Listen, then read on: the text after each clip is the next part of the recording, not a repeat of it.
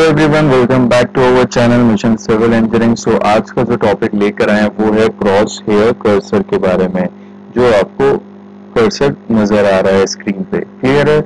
तो इस कर्सर का क्या क्या यूज़ है इसका साइज़ कैसे बड़ा करें कैसे छोटा करें पिक बॉक्स क्या होता है पिक बॉक्स का साइज़ कैसे छोटा करें या बड़ा करें वो सारी चीज़ें आपको इस लेक्चर में आपको मिलेगा क्लियर है?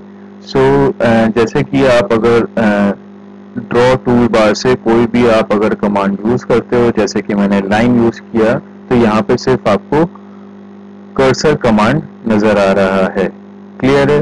अगर आप मॉडिफाई टूल बार से अगर कोई भी कमांड यूज़ करते हो, जैसे कि मैं ये कमांड यूज़ करता हूँ तो यहाँ से सिर्फ़ आपको पिक बॉक्स नज़र आ रहा है। क्लियर है? इस तरीके से आप अगर स्पेस बटन स्केप बटन दब प्रेस करोगे तो आपका पिक बॉक्स नज़र नहीं आएगा।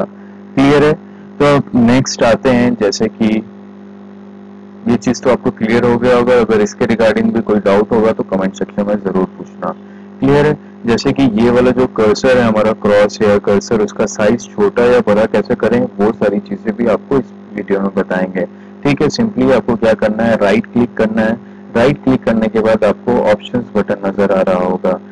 ऑप्शन बटन में आपको जैसे कि यहाँ पे सिलेक्शन में आप आओगे तो यहाँ पे पिक बॉक्स का साइज़ छोटा या बड़ा कर सकते हो।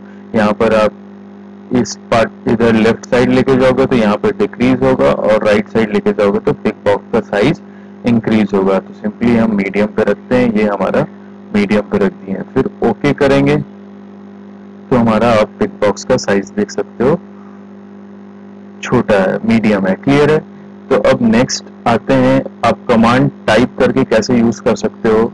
सेम चीज़ तो ओ पी ऑप्शन में आएँगे इंटर प्रेस करेंगे। तो यहाँ पर भी आप सिंपली क्या होगा, आपको डिस्प्ले में आने के बाद आप यहाँ पे क्रॉस हेयर का साइज़ पूछ रहा है तो आप कम करना चाहते हो तो कम कर देंगे। लेफ़्ट साइड में जाएँगे, अगर बढ़ाना चाहते हो तो राइट साइड में जाके इंक्रीज भी कर सकते हो।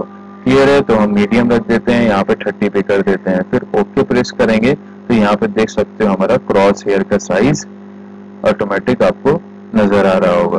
क्लियर है? इस तरीके से आप छोटा या बड़ा कर सकते हो। अगर आपको और छोटा करके आपको दिखाना है तो ऑप्शंस में जाते हैं। फिर ऑप्शन में प्रेस करने के बाद क्रॉस हेयर का साइज़ फोर पे कर देते हैं। ओके प्रेस करेंगे तो आप नज़र देख सकते हो हमारा क्रॉस हेयर का जो साइज़ है, वो छोटा हो गया। क्लियर है? इसका साइज़ इंक्रीज करने के लिए सिंपली राइट क्लिक करने के बाद ऑप्शंस में जाना है फिर उसके बाद डिस्प्ले में आना है डिस्प्ले में आने के बाद इसका साइज़ आप 31 कर दो इंक्रीज कर दोगे राइट साइड में जाओगे इंक्रीज होगा लेफ़्ट साइड में जाओगे डिक्रीज होगा। ओके okay, प्रेस करना है ओके प्रेस करने के बाद आपको आपका क्रॉस हेयर का जो साइज़ है वो बड़ा नज़र आने लगेगा। अगर इसके रिगार्डिंग अगर आपको कोई भी डाउट होगा तो कमेंट सेक्शन में ज़रूर पूछना। सो so, वीडियो को लाइक करो शेयर करो एंड सब्सक्राइब करो हमारे channel So thank you for watching our video. Please do like, share and subscribe to our channel.